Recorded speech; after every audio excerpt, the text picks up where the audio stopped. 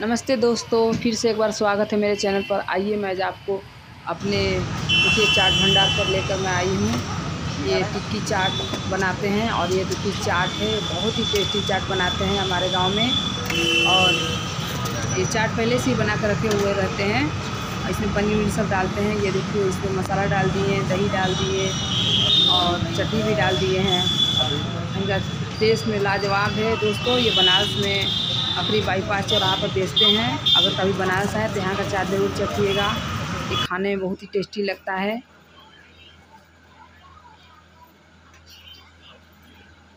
अगर वीडियो पसंद आए तो वीडियो को लाइक शेयर सब्सक्राइब करना ना भूलें। ये देखिए गोलगप्पे भी बेच रहे हैं। गोलगप्पा भी बहुत अच्छा बनाते हैं। इनके भैया को देखिए खाने के लिए। और खाकर बताते हैं कैसा लग रहा है। बहुत ही अच्छा टेस्ट है इनके गोलगप्पे का। मिलते हैं नेक्स्ट वीडियो में।